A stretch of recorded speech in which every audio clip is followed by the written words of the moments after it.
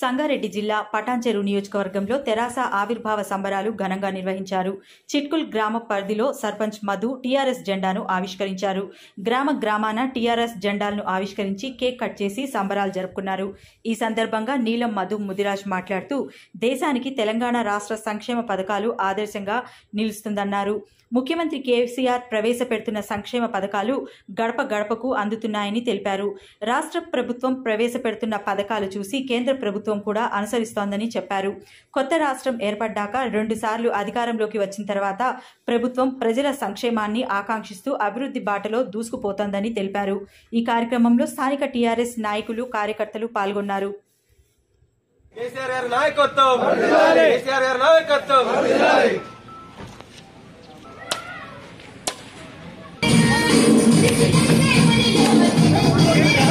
వర్గాలకు అందరికీ కాపాడే వ్యక్తి మన కేసీఆర్ గారు. ఈరోజు ఈరోజు చెప్తున్నారు వివిధ పార్టీల నుంచి వచ్చి రేపు ఏం సంక్షేమ పథకాలు చేసిరని చెప్పి.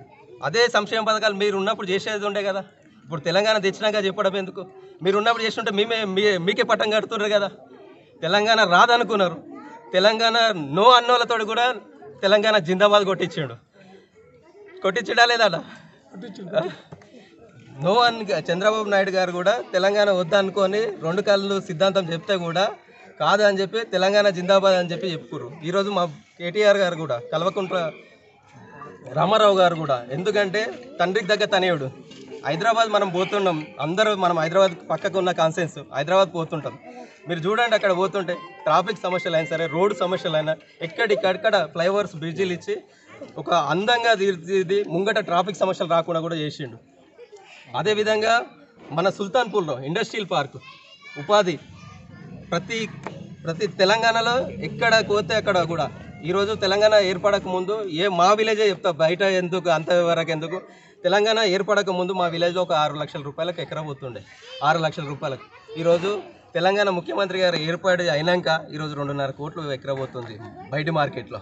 అంటే ఎంత ఎంత ఇంప్రూవ్ అయినది అనేది తెలుసుకోవాలి. అంటే తెలంగాణ రాష్ట్రాన్ని ఇట్లనే ముందుకు నడిపిస్తున్న మా ముఖ్యమంత్రి ఆలోచన విధానాలను మేమందరం ప్రతి కార్యకర్త కూడా సైనికులాగా పనిచేస్తాం.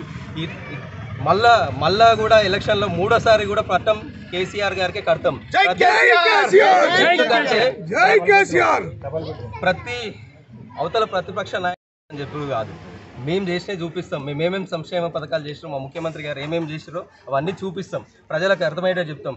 సంక్షేమ పథకాలు తెలంగాణ రాష్ట్రం ఏర్పడినాక ప్రతి విలేజ్లో హనుమాన్ గుడి లేని విలేజ్ లేదు.